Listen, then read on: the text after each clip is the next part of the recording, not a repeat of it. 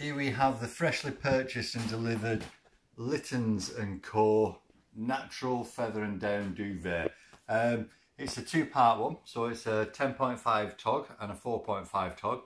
So for the winter, both of these are going to be together, and then in the summer you can take one off and use either the 10.5 on its own or the 4.5 on its own. What we're going to actually do is we've we've got a king size bed, but we're going to put a super king onto it uh, just because it's I think it's nicer. You get more weight on you, and it's just a, an all round nicer oh, feeling. So this is this is what it comes in. Nice big carrier bag. There's a fair bit of weight to this as well. So we're going to unpack it now and um, and put it into the put it into the duvet cover. Right, so this is the undoing. The one that we've just taken out was um, man-made fibre. Oh, oh, oh! This is this is nice. This, this is nice. Right. So that's it out. And what we'll do is we'll obviously fluff it up. But as you can see, it's um, it's a two-parter with the 10.5 and the 4.5 making the 15 tog.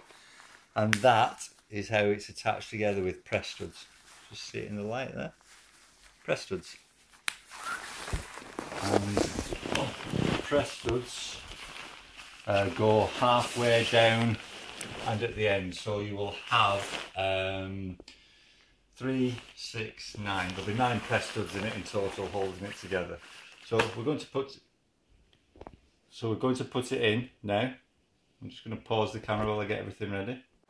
Right, so we've just fluffed it up and stretched it out. And one thing that I do want to show you, uh, the one that we've taken off, it did have the lines running down it like this, but you didn't have the cross lines as well. And what this basically means is the down in the feather that's in these is going to stay in this pocket. So the very worst that's going to happen is it's going to shunt down a bit. What happened in the other one was it shunted down a lot. So you had a whole corner that was bare of any uh, any padding or, or any warmth really. So this is uh, this is exceptional. Can't wait to get it in. Right, so that's it. It's now in. And that Oh yeah, that's going to sit on me perfectly tonight. There you go, that's it back. So fantastic. Right, so we're about a, a week into sleeping with this. Uh, some feedback is it's extremely warm. Uh, there's an awful lot of weight on on you when you're sleeping, which is something that that I enjoy. Um, it's just very comfy, as you can see. I've said it already, but it's a super king on a king size bed. So that gives you uh, plenty of cover. It's just really, really probably the, the nicest duvet that I've ever slept under.